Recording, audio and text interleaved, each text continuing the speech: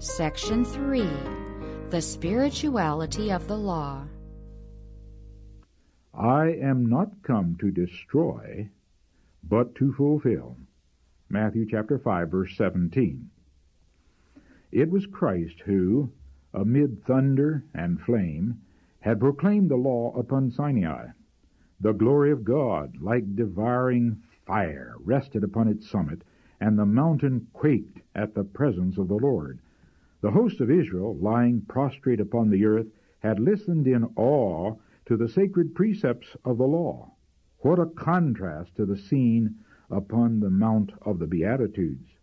Under the summer sky, with no sound to break the stillness but the song of birds, Jesus unfolded the principles of his kingdom.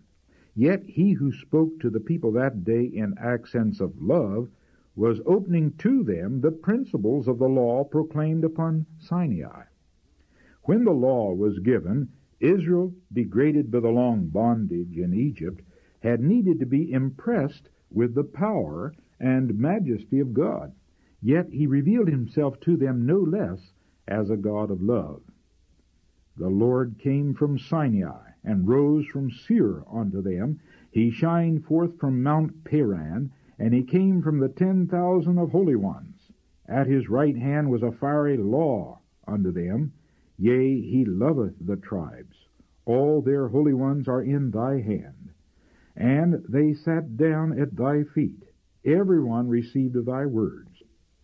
Deuteronomy chapter 33, verses 2 and 3, according to the Revised Version in the margin. It was to Moses that God revealed his glory in those wonderful words that have been the treasured heritage of the ages. The Lord, the Lord God, merciful and gracious, long-suffering and abundant in goodness and truth, keeping mercy for thousands, forgiving iniquity and transgression and sin. Exodus chapter 34 verse 6. The law given upon Sinai was the enunciation of the principle of love, a revelation to earth of the law of heaven. It was ordained in the hand of a mediator, spoken by him, through whose power the hearts of men could be brought into harmony with its principles. God had revealed the purpose of the law when he declared to Israel, Ye shall be holy men unto me. Exodus chapter 22 verse 31. But Israel had not perceived the spiritual nature of the law, and too often their professed obedience was but an observance of forms and ceremonies rather than a surrender of the heart to the sovereign of love. As Jesus, in his character and work, represented to men the holy, benevolent, and paternal attributes of God, and presented the worthlessness of mere ceremonial obedience, the Jewish leaders did not receive or understand his words. They thought that he dwelt too lightly upon the requirements of the law, and when he set before them the very truths that were the soul of their divinely appointed service, they, looking only at the external, accused him of seeking to overthrow it. The words of Christ, though calmly spoken, were uttered with an earnestness and power that stirred the hearts of the people. They listened for a repetition of the lifeless traditions and exactions of the rabbis, but in vain. They were astonished at his teaching, for he taught as one having authority, and not as the scribes. Matthew chapter 7, verse 29, Revised Version. The Pharisees noted the vast difference between their manner of instruction and that of Christ. They saw that the majesty and purity and beauty of the truth, with its deep and gentle influence, was taking firm hold upon many minds. The Savior's divine love and tenderness drew the hearts of men to him. The rabbis saw that by his teaching the whole tenor of the instruction they had given to the people was set at naught.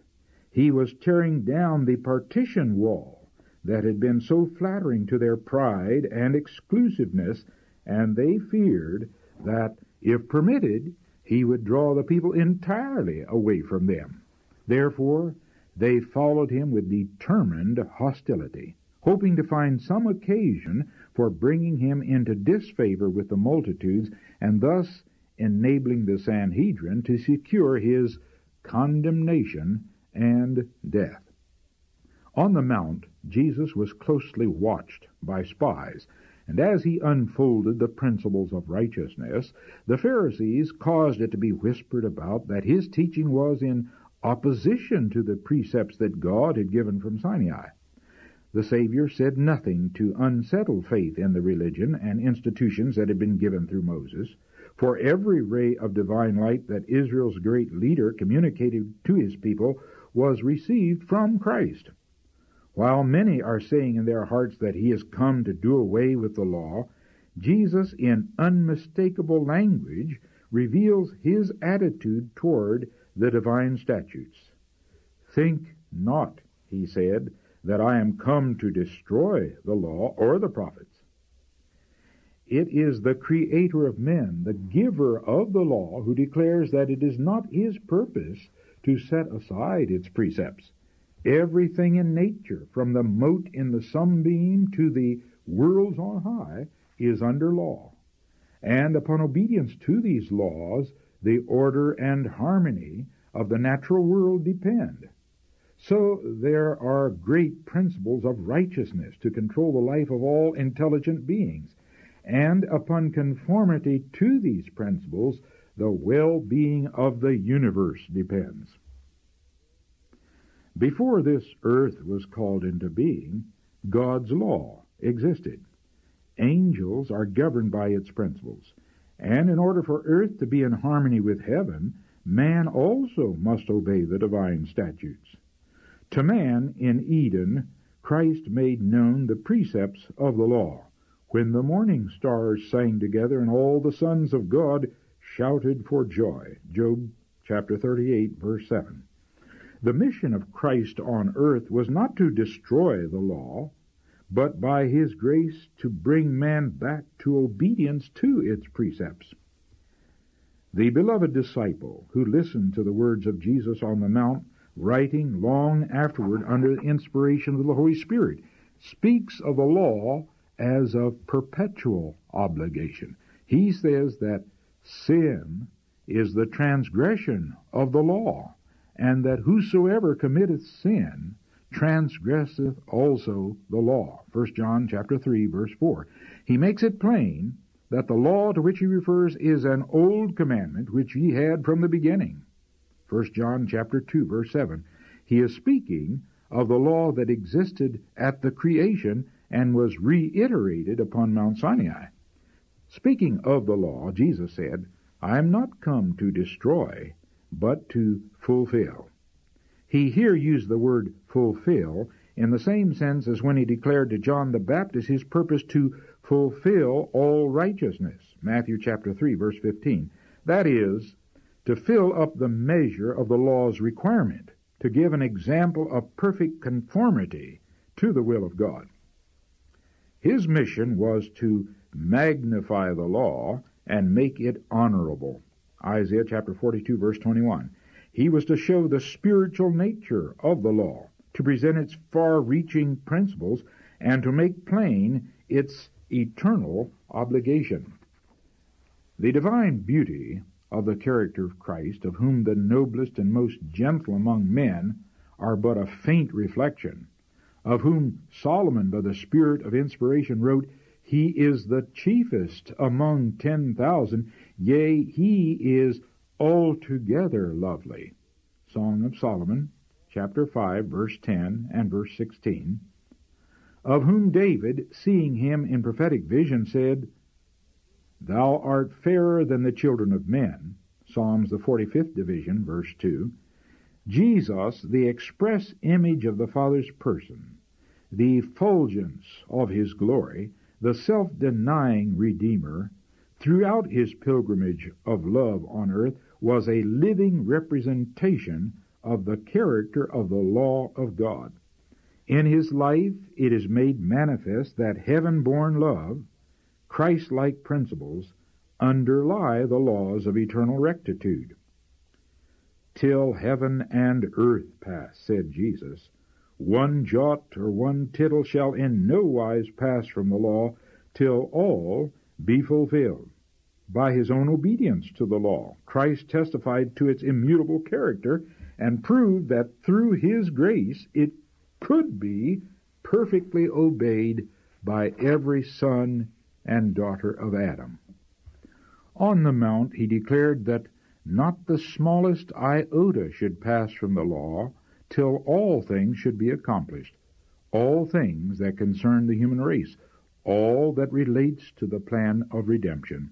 He does not teach that the law is ever to be abrogated, but he fixes the eye upon the utmost verge of man's horizon and assures us that until this point is reached, the law will retain its authority so that none may suppose it was his mission to abolish the precepts of the law. So long as heaven and earth continue, the holy principles of God's law will remain. His righteousness, like the great mountains, Psalms the 36th division, verse 6, will continue, a source of blessing, sending forth streams to refresh the earth. Because the law of the Lord is perfect and therefore changeless, it is impossible for sinful men in themselves to meet the standard of its requirement. This was why Jesus came as our Redeemer. It was his mission, by making men partakers of the divine nature, to bring them into harmony with the principles of the law of heaven. When we forsake our sins and receive Christ as our Savior, the law is exalted. The Apostle Paul asks, do we then make void the law through faith? God forbid, yea, we establish the law. Romans chapter 3, verse 31. The new covenant promise is, I will put my laws into their hearts, and in their minds will I write them. Hebrews chapter 10, verse 16. While the system of types which pointed to Christ as the Lamb of God that should take away the sin of the world was to pass away at his death, the principles of righteousness embodied in the Decalogue are as immutable as the eternal throne. Not one command has been annulled, not a jot or a tittle has been changed. Those principles that were made known to man in paradise as the great law of life will exist unchanged in paradise restored. When Eden shall bloom on earth again, God's law of love will be obeyed by all beneath the sun. Forever, O Lord, thy word is settled in heaven. All his commandments are sure. They stand fast forever and ever, and are done in truth and uprightness. Concerning thy testimonies, I have known of old that thou hast founded them forever. Psalms, the 119th division, verse 89, Psalms 111, verses 7 and 8, and Psalms 119, verse 152. Whosoever shall break one of these least commandments, and shall teach men so, he shall be called the least in the kingdom of heaven. Matthew chapter 5, verse 19. That is, he shall have no place therein. For he who wilfully breaks one commandment does not in spirit and truth keep any of them. Whosoever shall keep the whole law and yet offend in one point, he is guilty of all. James chapter 2 verse 10. It is not the greatness of the act of disobedience that constitutes sin, but the fact of variance from God's expressed will in the least particular for this shows that there is yet communion between the soul and sin. The heart is divided in its service. There is a virtual denial of God, a rebellion against the laws of his government. Were men free to depart from the Lord's requirements and to set up a standard of duty for themselves, there would be a variety of standards to suit different minds, and the government would be taken out of the Lord's hands. The will of man would be made supreme and the high and holy will of God, his purpose of love toward his creatures, would be dishonored, disrespected. Whenever men choose their own way, they place themselves in controversy with God. They will have no place in the kingdom of heaven, for they are at war with the very principles of heaven. In disregarding the will of God, they are placing themselves on the side of Satan, the enemy of God and man. Not by one word, not by many words, but by every word that God has spoken shall man live. We cannot disregard one word, however trifling it may seem to us, and be safe. There is not a command of the law that is not for the good and happiness of man, both in this life and in the life to come. In obedience to God's law, man is surrounded as with a hedge and kept from the evil. He who breaks down this divinely erected barrier at one point has destroyed its power to protect him, for he has opened a way by which the enemy can enter to waste and ruin. By venturing to disregard the will of God upon one point, our first parents opened the floodgates of woe upon the world, and every individual who follows their example will reap a similar result. The love of God underlies every precept of His law, and he who departs from the commandment is working his own unhappiness and ruin. Except your righteousness shall exceed the righteousness of the scribes and Pharisees, ye shall in no case enter into the kingdom of heaven. Matthew chapter 5, verse 20. The scribes and Pharisees had accused not only Christ, but his disciples as sinners because of their disregard of the rabbinical rites and observances. Often the disciples had been perplexed and troubled by censure and accusation from those whom they had been accustomed to revere as religious teachers. Jesus unveiled the deception. He declared that the righteousness upon which the Pharisees set so great value was worthless. The Jewish nation had claimed to be the special, loyal people who were favored of God, but Christ represented their religion as devoid of saving faith. All their pretensions of piety their human inventions and ceremonies, and even their boasted performance of the outward requirements of the law, could not avail to make them holy. They were not pure in heart, or noble and Christ-like in character. A legal religion is insufficient to bring the soul into harmony with God. The hard, rigid orthodoxy of the Pharisees, destitute of contrition, tenderness, or love, was only a stumbling block to sinners. They were like the salt that had lost its savor, for their influence had no power to preserve the world from corruption. The only true faith is that which worketh by love, Galatians chapter 5 verse 6, to purify the soul. It is as leaven that transforms the character. All this the Jews should have learned from the teachings of the prophets. Centuries before, the cry of the soul for justification with God had found voice and answer in the words of the prophet Micah. Wherewith shall I come before the Lord, and bow myself before the high God? Shall I come before him with burnt offerings, with calves of a year old? Will the Lord be pleased with thousands of rams, or with ten thousands of rivers of oil? He hath showed thee, O man, what is good, and what doth the Lord require of thee, but to do justly, and to love mercy, and to walk humbly with thy God? Micah chapter 6, verses 6 through 8. The prophet Hosea had pointed out what constitutes the very essence of Pharisaism in the words, Israel is an empty vine. He bringeth forth fruit unto himself. Hosea chapter 10, verse 1. In their professed service to God, the Jews were really working for self. Their righteousness was the fruit of their own efforts to keep the law according to their own ideas and for their own selfish benefit. Hence it could be no better than they were. In their endeavor to make themselves holy, they were trying to bring a clean thing out of an unclean. The law of God is as holy as He is holy, as perfect as He is perfect. It presents to men the righteousness of God. It is impossible for man of himself to keep this law, for the nature of man is depraved, deformed, and wholly unlike the character of God. The works of the selfish heart are as an unclean thing, and all our righteousnesses are as filthy rags. Isaiah chapter 64 verse 6.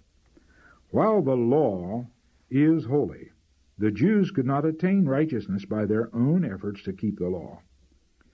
The disciples of Christ must obtain righteousness of a different character from that of the Pharisees if they would enter the kingdom of heaven. God offered them in His Son the perfect righteousness of the law. If they would open their hearts fully to receive Christ, then the very life of God, His love, would dwell in them, transforming them into His own likeness, and thus through God's free gift, they would possess the righteousness which the law requires. But the Pharisees rejected Christ. Being ignorant of God's righteousness, and going about to establish their own righteousness. Romans chapter 10, verse 3. They would not submit themselves unto the righteousness of God. Jesus proceeded to show his hearers what it means to keep the commandments of God, that it is a reproduction in themselves of the character of Christ. For in him God was daily made manifest before them. Everyone who is angry with his brother shall be in danger of the judgment.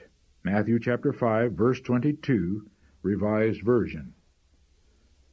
Through Moses, the Lord had said, Thou shalt not hate thy brother in thine heart. Thou shalt not avenge, nor bear any grudge against the children of thy people. But thou shalt love thy neighbor as thyself. Leviticus chapter 19 verses 17 and 18. The truths which Christ presented were the same that had been taught by the prophets, but they had become obscured through hardness of heart and love of sin. The Savior's words revealed to his hearers the fact that while they were condemning others as transgressors, they were themselves equally guilty, for they were cherishing malice and hatred. Across the sea, from the place where they were assembled, was the country of Bashan, a lonely region whose wild gorges and wooded hills had long been a favorite lurking ground for criminals of all descriptions. Reports of robbery and murder committed there were fresh in the minds of the people, and many were zealous in denouncing these evildoers. At the same time, they were themselves passionate and contentious. They cherished the most bitter hatred of their Roman oppressors, and felt themselves at liberty to hate and despise all other peoples, and even their own countrymen who did not in all things conform to their ideas. In all this, they were violating the law which declares, Thou shalt not kill.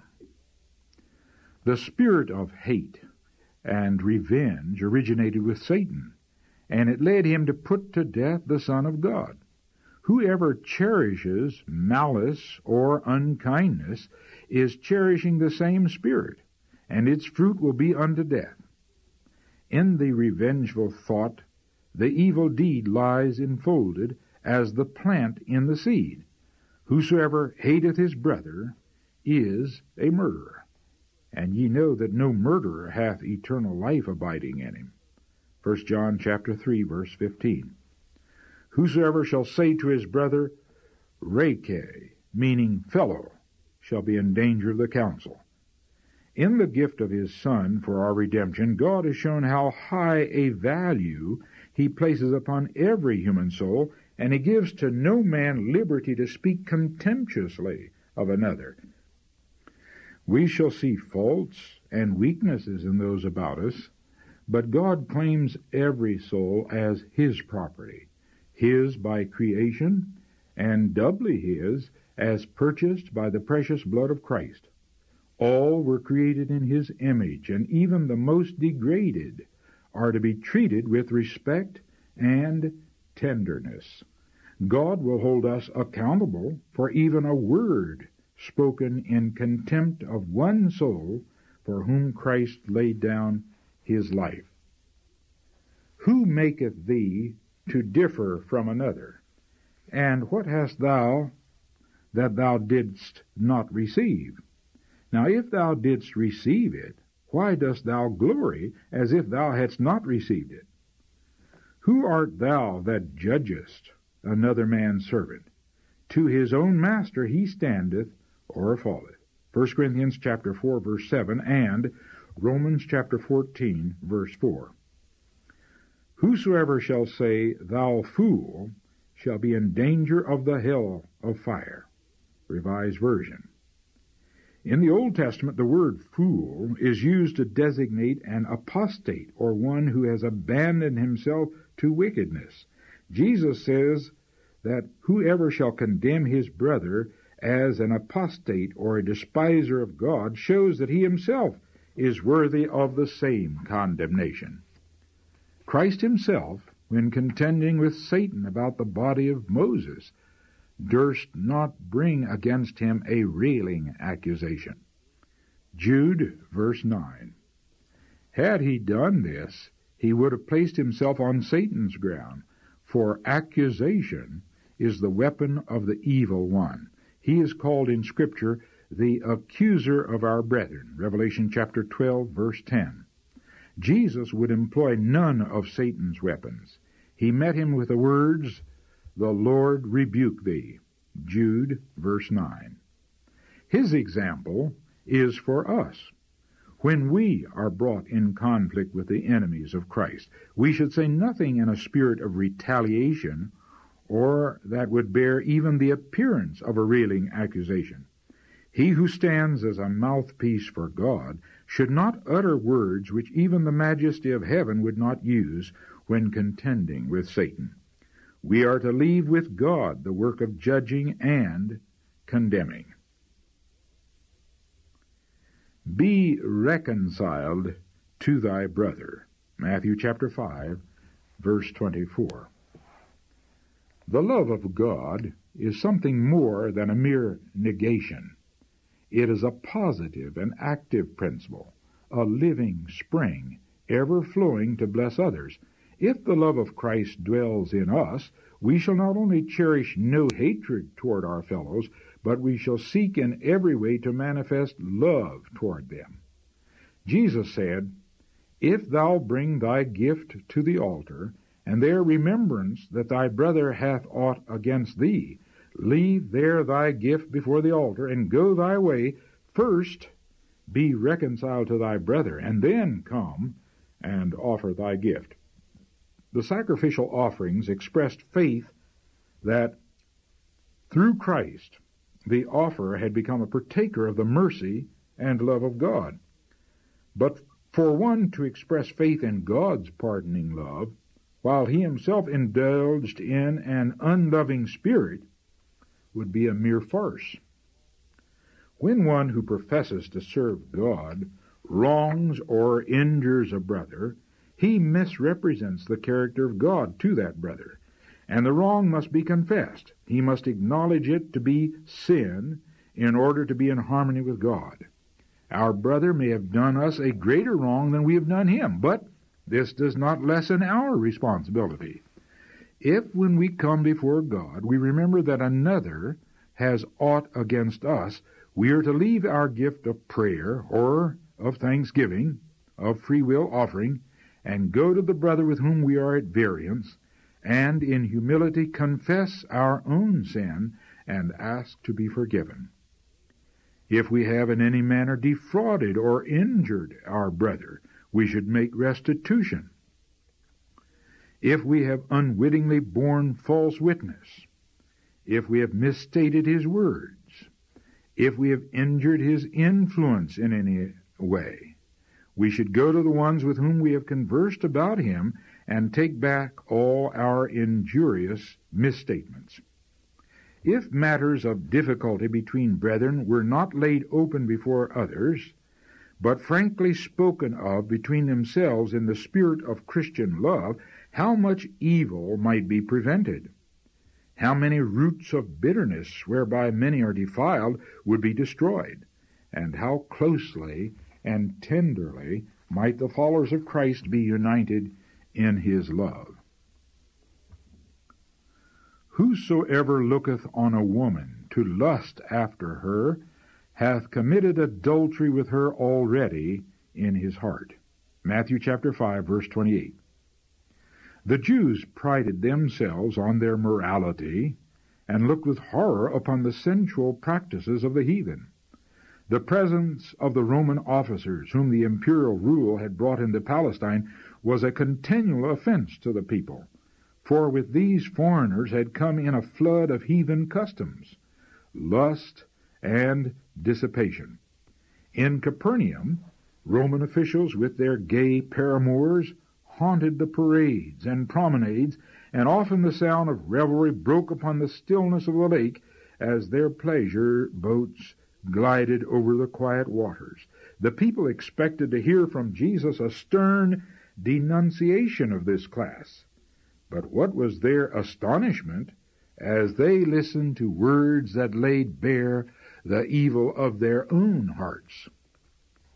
When the thought of evil is loved and cherished, however secretly, said Jesus, it shows that sin still reigns in the heart. The soul is still in the gall of bitterness and in the bond of iniquity. He who finds pleasure in dwelling upon the scenes of impurity, who indulges the evil thought, the lustful look, may behold in the open sin, with its burden of shame and heartbreaking grief, the true nature of the evil which he has hidden in the chambers of the soul the season of temptation under which, it may be, one falls into grievous sin, does not create the evil that is revealed, but only develops or makes manifest that which was hidden and latent in the heart.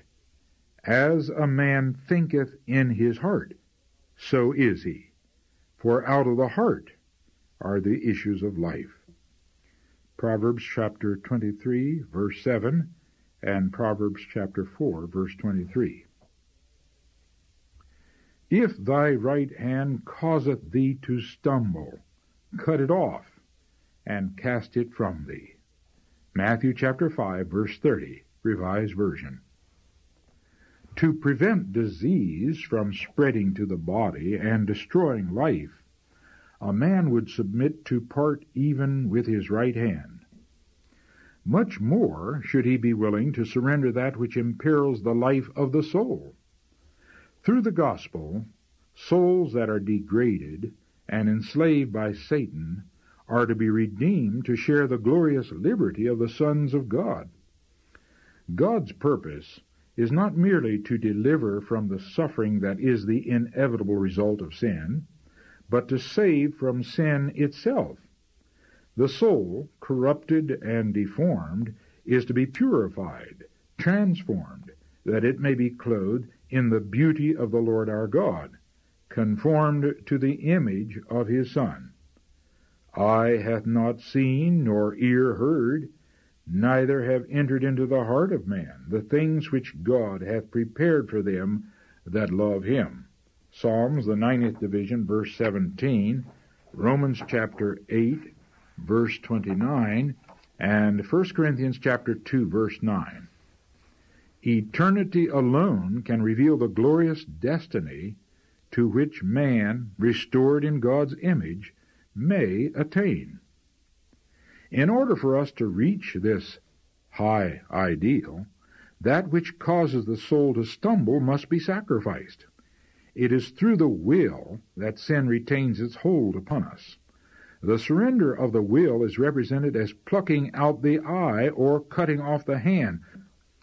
Often it seems to us that to surrender the will to God is to consent to go through life maimed or crippled. But it is better, says Christ, for self to be maimed, wounded, crippled, if thus you may enter into life. That which you look upon as disaster is the door to highest benefit. God is the fountain of life, and we can have life only as we are in communion with Him. Separated from God, existence may be ours for a little time, but we do not possess life. She that liveth in pleasure is dead while she liveth. 1 Timothy chapter 5 verse 6. Only through the surrender of our will to God is it possible for him to impart life to us. Only by receiving his life through self-surrender is it possible, said Jesus, for these hidden sins, which I have pointed out, to be overcome. It is possible that you may bury them in your hearts and conceal them from human eyes, but how will you stand in God's presence? If you cling to self, refusing to yield your will to God, you're choosing death. To sin, wherever found, God is a consuming fire. If you choose sin and refuse to separate from it, the presence of God which consumes sin must consume you. It will require a sacrifice to give yourself to God, but it is a sacrifice of the lower for the higher, the earthly for the spiritual, the perishable for the eternal. God does not design that our will should be destroyed, for it is only through its exercise that we can accomplish what He would have us do. Our will is to be yielded to Him, that we may receive it again, purified and refined, and so linked in sympathy with the divine that He can pour through us the tides of His love and power. However bitter and painful this surrender may appear to the wilful, wayward heart, yet it is profitable for thee.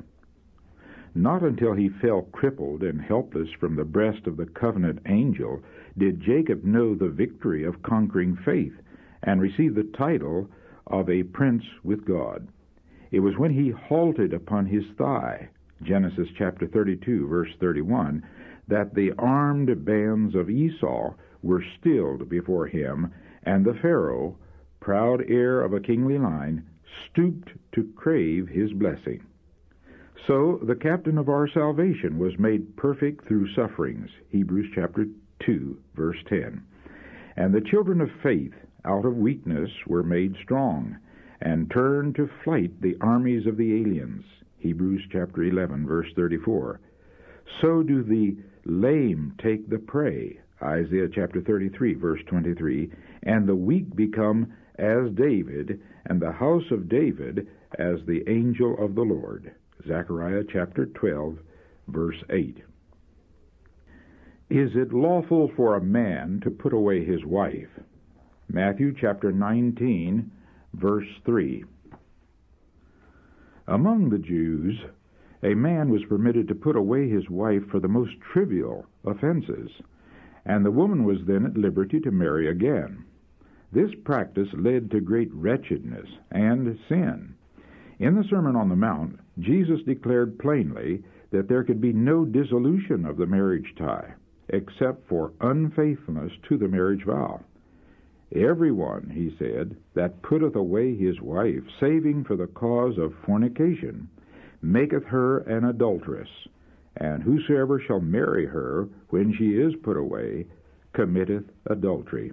That's according to the Revised Version.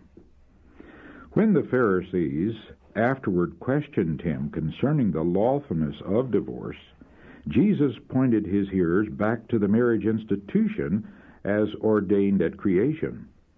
Because of the hardness of your hearts, he said, Moses suffered you to put away your wives, but from the beginning it was not so. Matthew chapter 19, verse 8. He referred them to the blessed days of Eden when God pronounced all things very good. Then marriage and the Sabbath had their origin, twin institutions for the glory of God in the benefit of humanity. Then, as the Creator joined the hands of the holy pair in wedlock, saying, A man shall leave his father and his mother, and shall cleave unto his wife, and they shall be one, Genesis chapter 2, verse 24, he enunciated the law of marriage for all the children of Adam to the close of time. That which the eternal Father himself had pronounced good was the law of highest blessing and development for man. Like every other one of God's good gifts entrusted to the keeping of humanity, marriage has been perverted by sin, but it is the purpose of the gospel to restore its purity and beauty. In both the Old and the New Testament, the marriage relation is employed to represent the tender and sacred union that exists between Christ and his people, the redeemed ones whom he has purchased at the cost of Calvary. Fear not, he says, thy Maker is thine husband, the Lord of hosts is his name, and thy Redeemer, the Holy One of Israel. Turn, O backsliding children, saith the Lord, for I am married unto you. Isaiah chapter 54, verse 4 and 5, and Jeremiah chapter 3, verse 14. In the Song of Songs, we hear the bride's voice saying, My beloved is mine, and I am his. And he who is to her the chiefest among ten thousand speaks to his chosen one, Thou art all fair, my love, there is no spot in thee. Song of Solomon, chapter 2, verse 16, chapter 5, verse 10, chapter 4, verse 7. In later times, Paul the Apostle, writing to the Ephesian Christians, declares that the Lord has constituted the husband the head of the wife, to be her protector, the house band, binding the members of the family together, even as Christ is the head of the church and the Savior of the mystical body.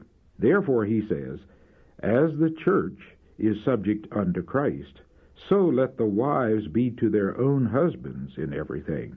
Husbands, love your wives, even as Christ also loved the church and gave himself for it, that he might sanctify and cleanse it with the washing of water by the word, that he might present it to himself a glorious church, not having spot or wrinkle or any such thing, but it, that it should be holy and without blemish. So ought men to love their wives. Ephesians chapter 5, verses 24 through 28. The grace of Christ, and this alone, can make this institution what God designed it should be an agent for the blessing and uplifting of humanity. And thus the families of earth, in their unity and peace and love, may represent the family of heaven. Now, as in Christ's day, the condition of society presents a sad comment upon heaven's ideal of this sacred relation. Yet, even for those who have found bitterness and disappointment where they had hoped for companionship and joy, the gospel of Christ offers a solace. The patience and gentleness which his Spirit can impart will sweeten the bitter lot. The heart in which Christ dwells will be so filled, so satisfied with his love, that it will not be consumed with the longing to attract sympathy and attention to itself. And through the surrender of the soul to God, his wisdom can accomplish what human wisdom fails to do. Through the revelation of his grace, hearts that were once indifferent or estranged may be united in bonds that are firmer and more enduring than those of earth, the golden bonds of a love that will bear the test of trial. Swear not at all. Matthew chapter 5, verse 34. The reason for this command is given. We are not to swear by the heaven, for it is the throne of God, nor by the earth, for it is the footstool of his feet, nor by Jerusalem, for it is the city of the great king. Neither shalt thou swear by thy head, for thou canst not make one hair white or black. That's according to the Revised Version. All things come of God. We have nothing that we have not received. And more than this, we have nothing that has not been purchased for us by the blood of Christ. Everything we possess comes to us stamped with the cross, bought with the blood that is precious above all estimate, because it is the life of God. Hence, there is nothing that we have a right to pledge, as if it were our own, for the fulfillment of our word. The Jews understood the third commandment as prohibiting the profane use of the name of God. but they thought themselves at liberty to employ other oaths. Oath taking was common among them. Through Moses they had been forbidden to swear falsely, but they had many devices for freeing themselves from the obligation imposed by an oath. They did not fear to indulge in what was really profanity, nor did they shrink from perjury so long as it was veiled by some technical evasion of the law. Jesus condemned their practices, declaring that their custom in oath taking was a transgression of the commandment of God. Our Savior did not, however, forbid the use of the judicial oath, in which God is solemnly called to witness that what is said is truth and nothing but the truth. Jesus himself, at his trial before the Sanhedrin, did not refuse to testify under oath. The high priest said unto him, I adjure thee by the living God, that thou tell us whether thou be the Christ, the Son of God. Jesus answered, Thou hast said, Matthew chapter 26, verses 63 and 64. Had Christ in the Sermon on the Mount condemned the judicial oath, he would at his trial have reproved the high priest and thus, for the benefit of his followers, have enforced his own teaching.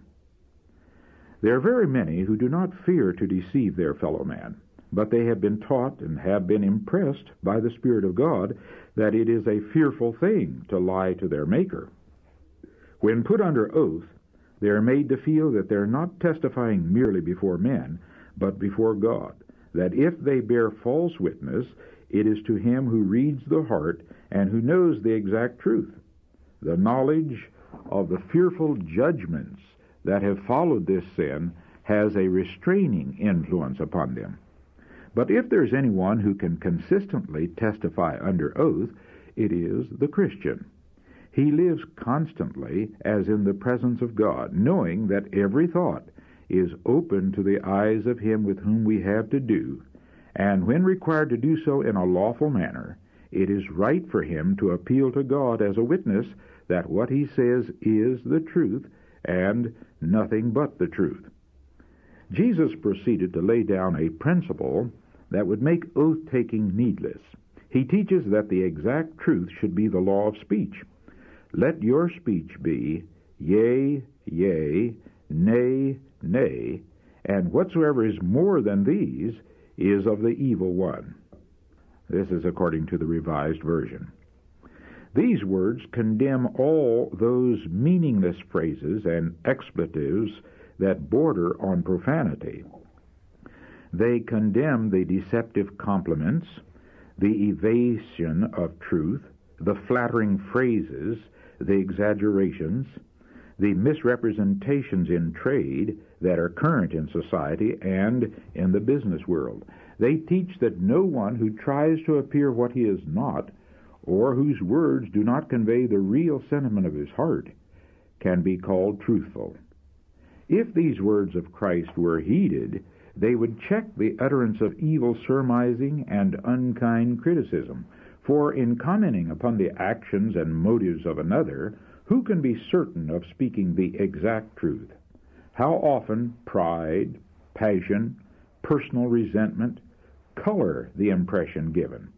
A glance, a word, even an intonation of the voice may be vital with falsehood.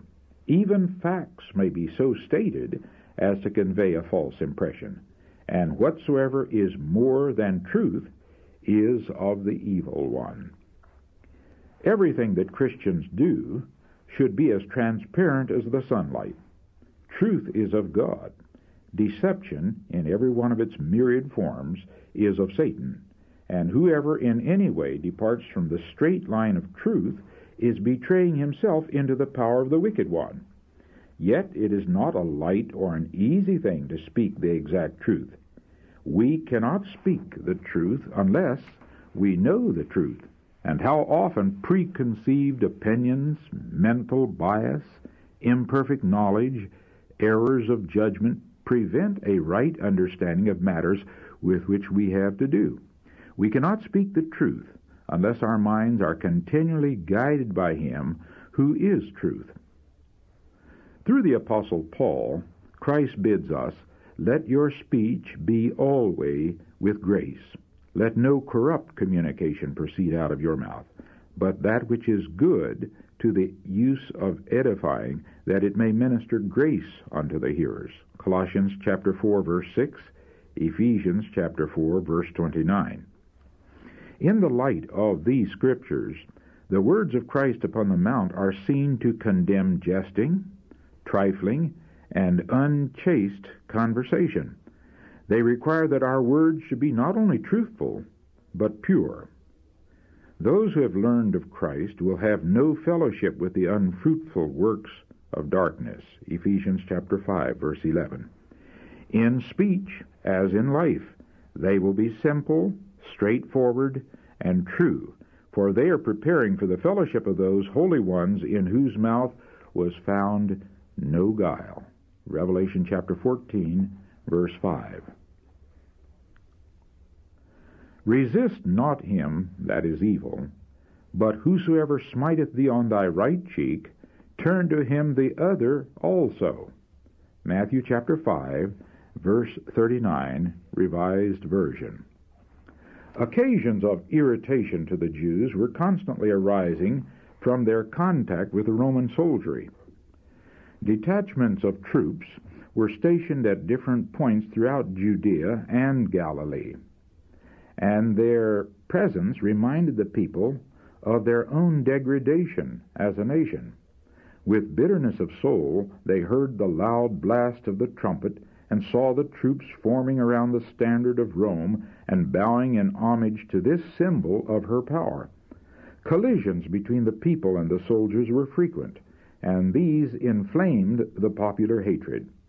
Often, as some Roman official with his guard of soldiers hastened from point to point, he would seize upon the Jewish peasants who were laboring in the field and compel them to carry burdens up the mountainside or render any other service that might be needed.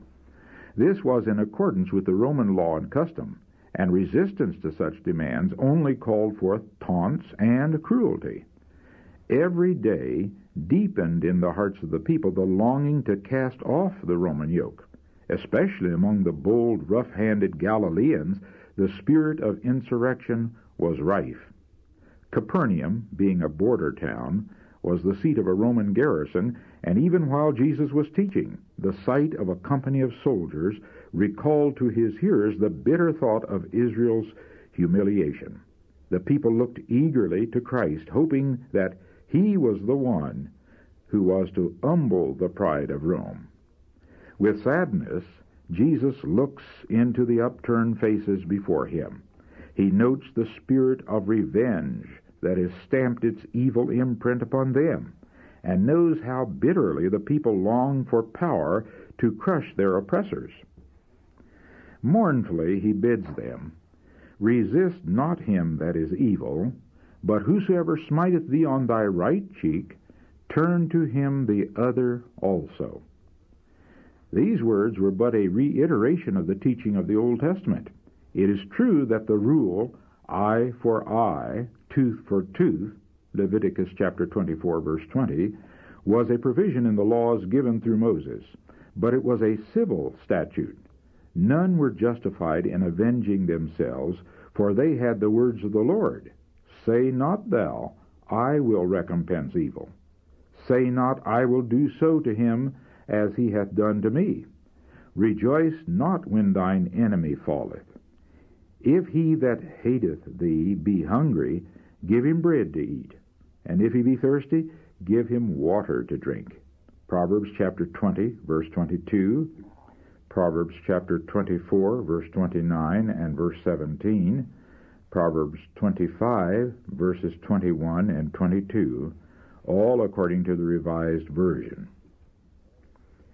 The whole earthly life of Jesus was a manifestation of this principle. It was to bring the bread of life to his enemies that our Savior left his home in heaven.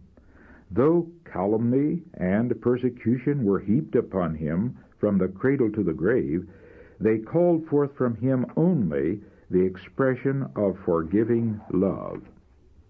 Through the prophet Isaiah, he says, I gave my back to the smiters, and my cheeks to them that plucked off the hair. I hid not my face from shame and spitting. He was oppressed, and he was afflicted, yet he opened not his mouth.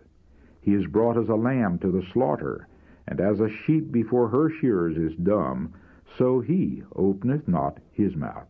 Isaiah chapter 50, verse 6, and Isaiah chapter 53, verse 7. And from the cross of Calvary there come down through the ages his prayer for his murderers and the message of hope to the dying thief. The Father's presence encircled Christ, and nothing befell him but that which infinite love permitted for the blessing of the world. Here was his source of comfort, and it is for us. He who is imbued with the Spirit of Christ abides in Christ. The blow that is aimed at him falls upon the Savior, who surrounds him with his presence. Whatever comes to him comes from Christ. He has no need to resist evil, for Christ is his defense. Nothing can touch him except by our Lord's permission, and all things that are permitted work together for good to them that love God. Romans chapter 8 verse 28. If any man would go to law with thee, and take away thy coat, or tunic, let him have thy cloak, or mantle also. And whosoever shall impress thee to go one mile, go with him twain. That's according to the Revised Version and the margin. Jesus bade his disciples, instead of resisting the demands of those in authority, to do even more than was required of them. And so far as possible, they should discharge every obligation, even if it were beyond what the law of the land required. The law, as given through Moses, enjoined a very tender regard for the poor. When a poor man gave his garment as a pledge or as security for a debt, the creditor was not permitted to enter the dwelling to obtain it. He must wait in the street for the pledge to be brought to him, and whatever the circumstances, the pledge must be returned to its owner at nightfall. Deuteronomy chapter 24, verses 10 through 13.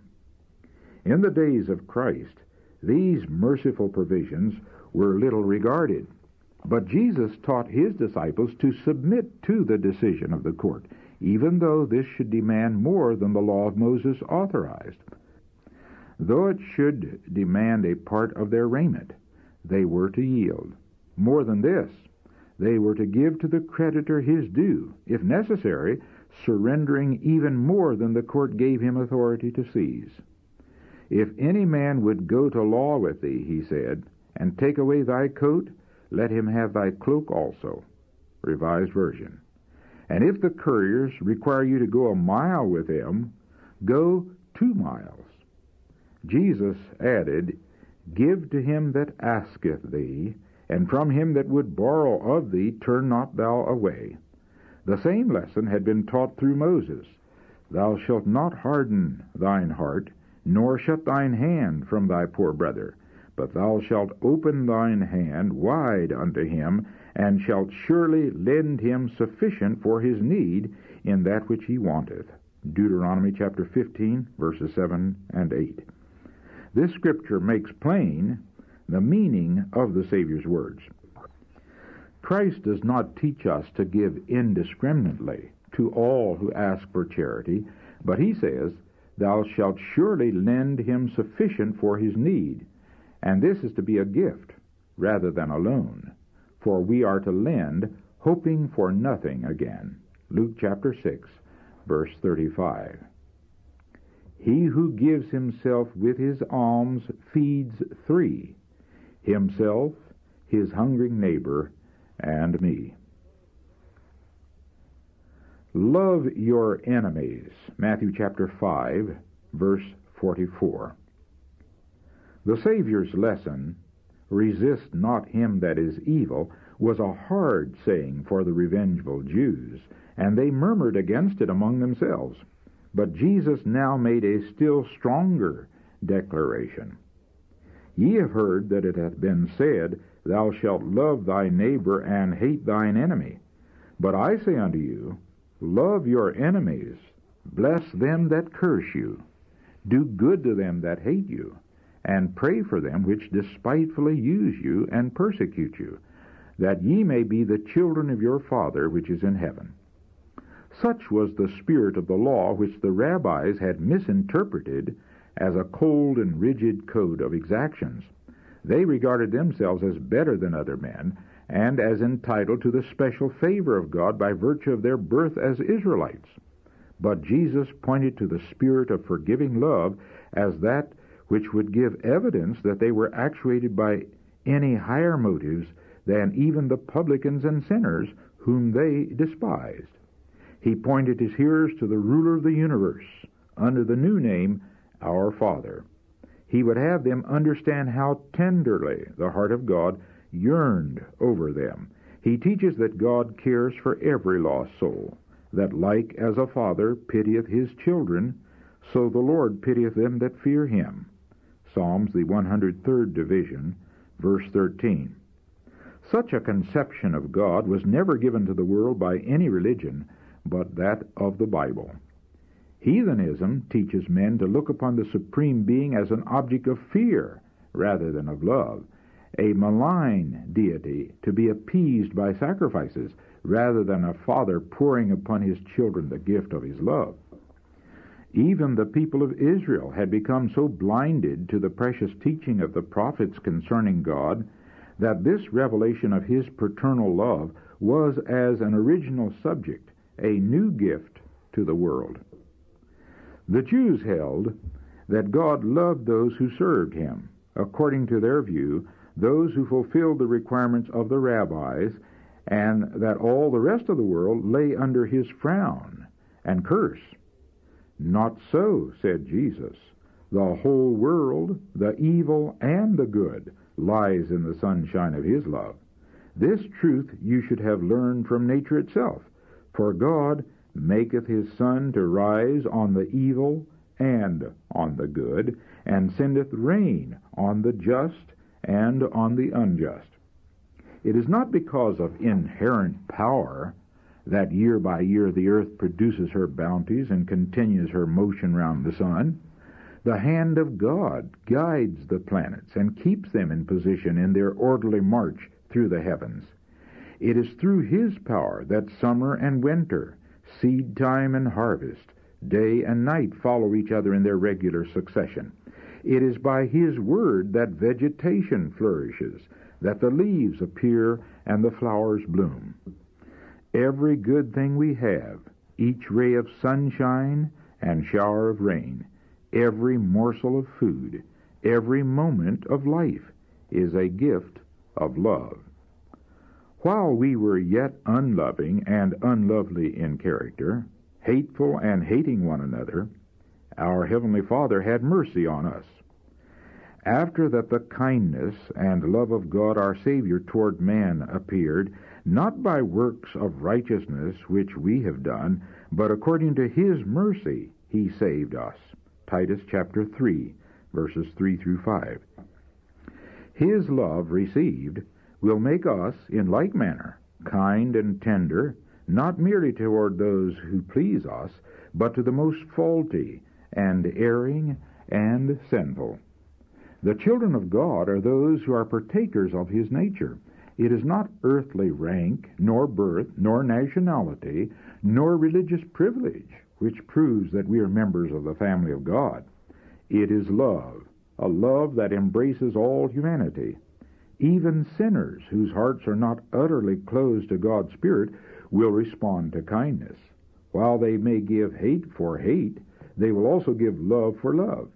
But it is only the Spirit of God that gives love for hatred. To be kind to the unthankful and to the evil, to do good hoping for nothing again, is the insignia of the royalty of heaven, the sure token by which the children of the highest reveal their high estate.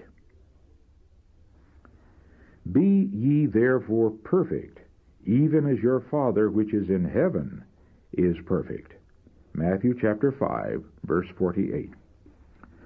The word therefore implies a conclusion, an inference from what has gone before.